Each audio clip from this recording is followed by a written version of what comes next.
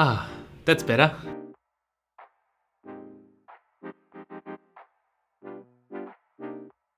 Are you someone who can read for hours at a time but needs to put on glasses or contact lenses on to see in the distance? If you are, then there's a very high chance you might be short-sighted or more correctly, myopic. If you're new to the channel, then welcome. My name is Antonio and I discuss anything to do with the eyes on this channel. If you want to learn a thing or two, then maybe consider subscribing. I will do my best to make that worthwhile. Another method of finding out if you're myopic is with your contact lenses. Have a look at your prescription. If it starts with a minus sign, then there's a very high chance you may be short-sighted. But why a minus sign?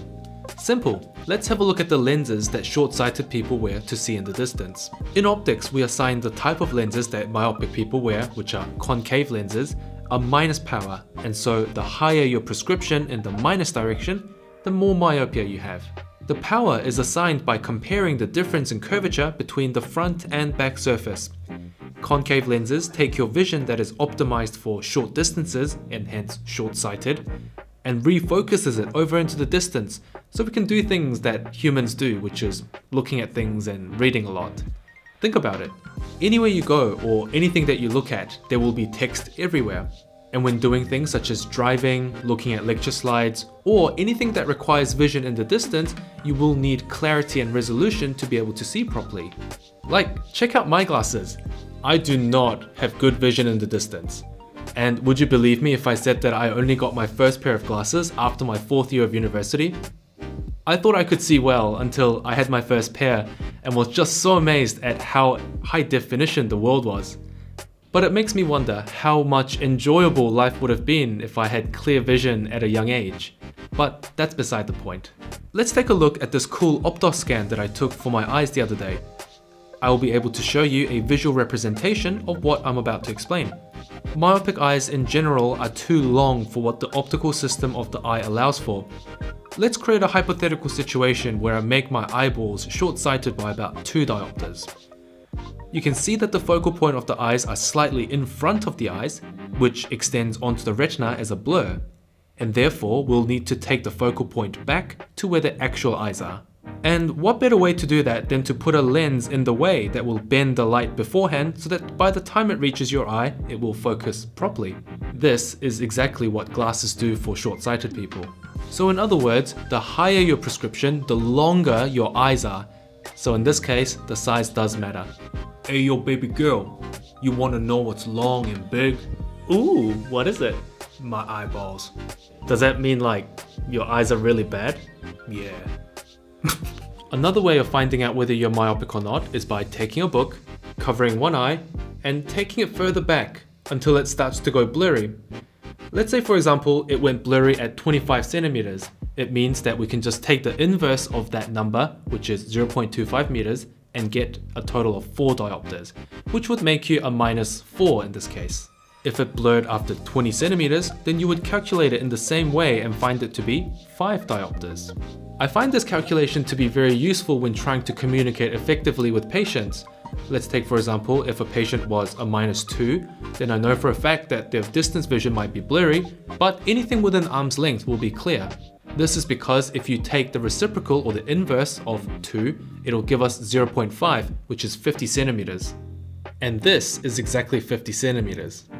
Having a minus 2 prescription basically means that anything within this measuring tape will be clear. So let's say for example if I'm holding a book, if it's within this length, then I know it'll be clear. Let's have a look at what a minus 1 would feel like. Extending it out to 1 meter, all of a sudden I can see a whole lot more. Let's have a look at what a minus 0.5 would look like.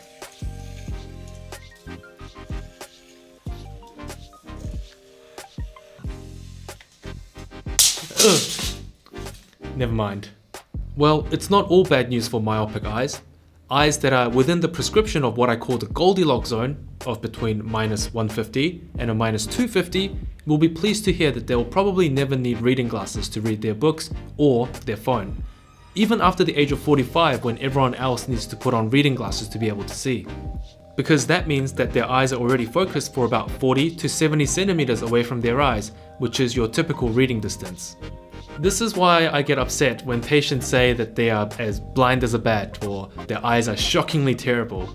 Because, in fact, if you went up against a long sighted eye in a reading marathon, you would honestly school them. You could literally read for hours at a time and still not get tired. So hold on a minute.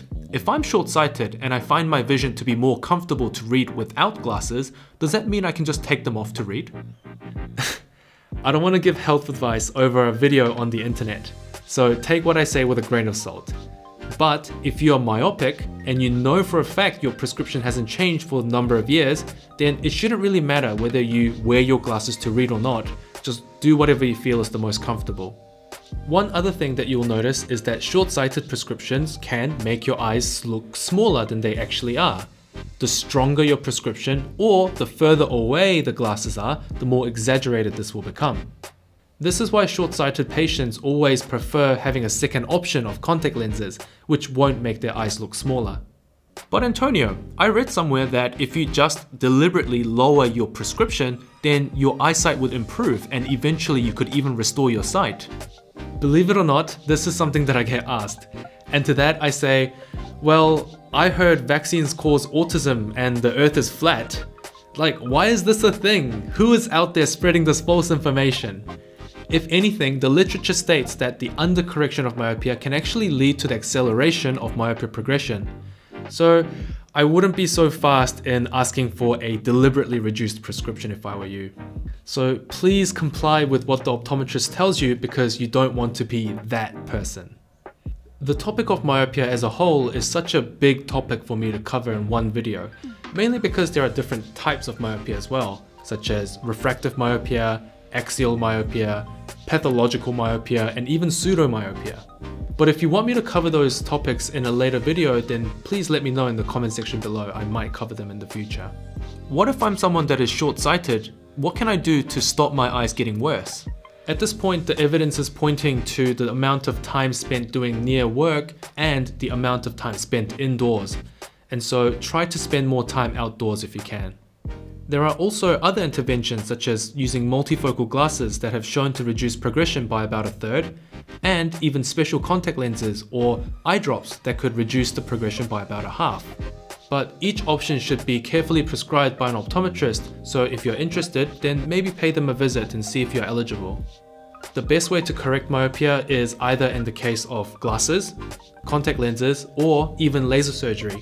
And I'll be doing a separate video on laser surgery, so if you don't want to miss that, then hit subscribe. But with that being said, I'm going to end the video here.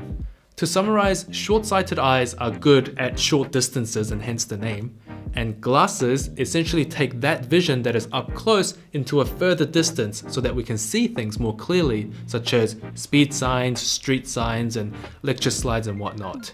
If you learned something new, or at least found something useful, then yay, thumbs up to you. If you want to thumbs up back, then that will be greatly appreciated.